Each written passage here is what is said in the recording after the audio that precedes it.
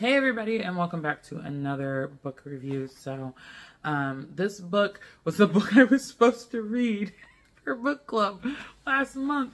Um, and uh, I didn't because I read Frankenstein. I really don't know why I thought that that was the book that we were reading. Um, but the book is The Wednesday Wars. Um, and uh, it, it, was actually a really good book. So uh, I thought it had been written longer ago than what it actually was written. Um, it was written like 2007, or at least published in 2007. Um, but it's a really uh, fun kind of coming of age story about um, a kid named Holling Hoodhood um, who is just trying to survive the seventh grade um, in 1967 68. So the book follows the whole school year. Um, so each, instead of having like chapters, each chapter is actually like a month. So, you know, like first chapter is September. Um, and just everything that happens uh, to him. It is uh, set on the backdrop of the Vietnam War, which is not a war that I willingly study or know anything about. I know a lot of you guys know that I do have um, a history degree, um, but I am not a big war person, um, with the exception of I know things about the wars, particularly the ones that I teach, but I don't really teach too much on the Vietnam War. Um, and I'm totally okay with that. Um, I just have a lot of personal feelings about the Vietnam War. Um, but I thought that it was a really, really good book. Um, I really like what uh, the way that the backdrop of everything that was going on with the war was kind of woven into how it's affecting the main character Holling, but like also how it's affecting his peers and his teachers. Um, so that was kind of really fun to read and just like a new kind of take on the Vietnam War that wasn't super like Vietnam War, platoon, Rambo. Um, so that was really cool.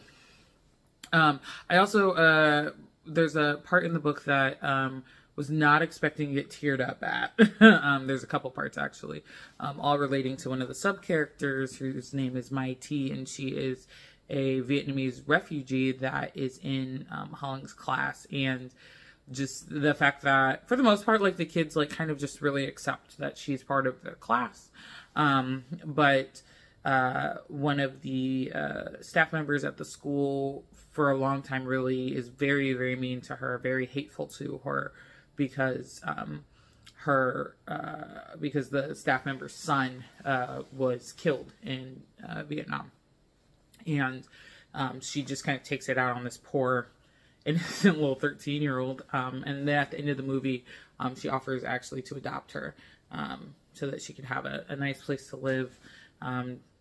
Um, and it was just, I was not expecting to get teared up at it, but it made me tear up just a little bit. Um, so it was a really good book. Um, I think it would honestly be really great for a classroom setting. I don't know if any other teachers out there have ever read it or use it in their class. Um, but I, it's a very chill, easy read book.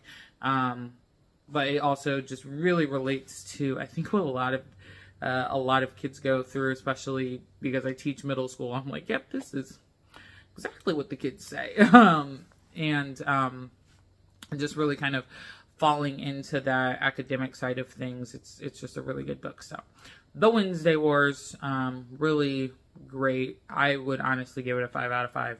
Um, just awesome book. Awesome, awesome book. So that's a very short book review, but that is all I've got um, for this particular review. Uh, thank you, everyone, as always, for watching. Um, continue to send me book suggestions.